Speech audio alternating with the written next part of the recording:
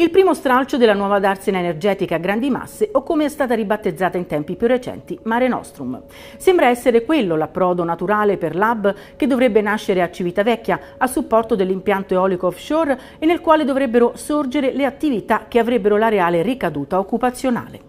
Andando a leggere le caratteristiche tecniche indicate dal bando emanato dal Ministero per l'Ambiente e la Sicurezza Energetica, che concede un mese di tempo alle autorità portuali per presentare le loro manifestazioni di interesse con tanto di elaborati tecnici, emerge che il porto attuale non sarebbe assolutamente in grado al momento di rispondere alle caratteristiche richieste. Pochissime delle banchine attualmente presenti hanno la lunghezza e il pescaggio necessario per poter far fronte a quanto previsto dal Ministero.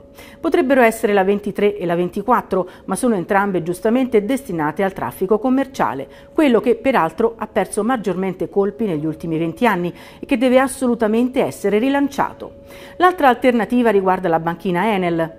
Abbiamo già visto come la SPA energetica dovrà decidere cosa fare di quel pontile nel momento in cui non arriveranno più le carboniere. Peraltro di mercantili in verità non se ne vede l'ombra anche adesso, essendo l'approdo vuoto da parecchie settimane. Prendendo a spunto quanto programmato nell'analoga esperienza di La Spezia, dove era operante un'altra centrale a carbone, abbiamo azzardato l'ipotesi che quella banchina possa essere destinata alla cantieristica, in particolare al refitting, ovvero ai servizi di manutenzione alle navi da crociera, che a Civitavecchia, primo porto italiano e secondo nel Mediterraneo per quanto attiene il cruise, avrebbe sicuramente un senso e un significato, dando oltretutto centinaia di posti di lavoro nel settore metalmeccanico, ovvero quello maggiormente colpito dalla chiusura della centrale a carbone.